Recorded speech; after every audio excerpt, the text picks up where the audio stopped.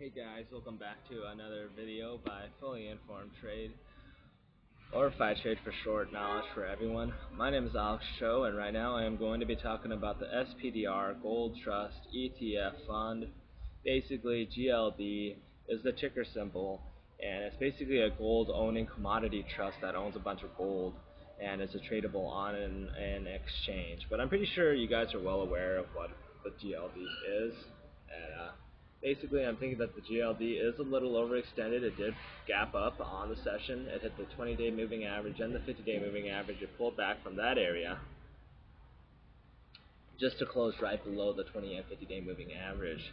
Now the volume seems relatively high. Um, this high volume indicates that perhaps this trend is very temporary. And because this trend seems very temporary and transitory, I think that perhaps after it gaps up to this point, after it, I, I think it's based on this area right here, I think it's ready to pull back. And once it pulls back, guys, um, it's a good idea to anticipate the area of support at around 148.50. It did gap up by around 2.5% on the session, and it seems very temporary. I mean, this move, you know, I, I, would, I really wouldn't hold my breath for it. Um, and uh, it, it's only reacting to the markets because of the positive, I don't know, because of a weak dollar. A weak dollar is generally bad for the gold market. Now, because you know, one thing that kind of sticks out to me though is that the dollar falls by two percent, and gold is only able to rally by two, two and a half percent.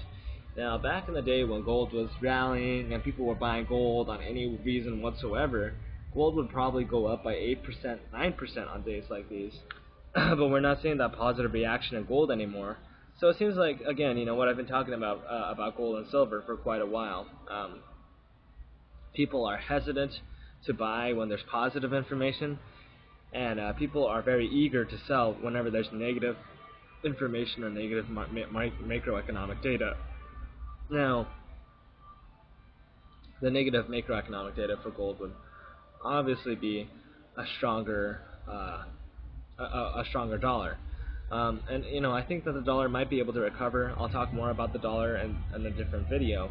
But uh, if in the event the dollar is able to recover based on the 200-day moving average, gold will most likely pull back from the 50 and 20-day moving average and will decline on the Monday trading session or even into the Sunday session.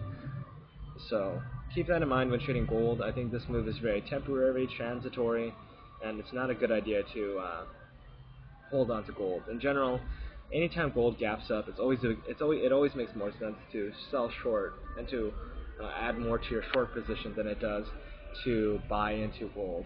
So take care, folks. Hope you guys have a wonderful trading session on, uh, well, actually Tuesday because I think it's a Memorial Day weekend. Uh, uh, but you know, hopefully you guys can make some more money uh, or make money every single day of the year. And we'll talk some more soon. So see you guys.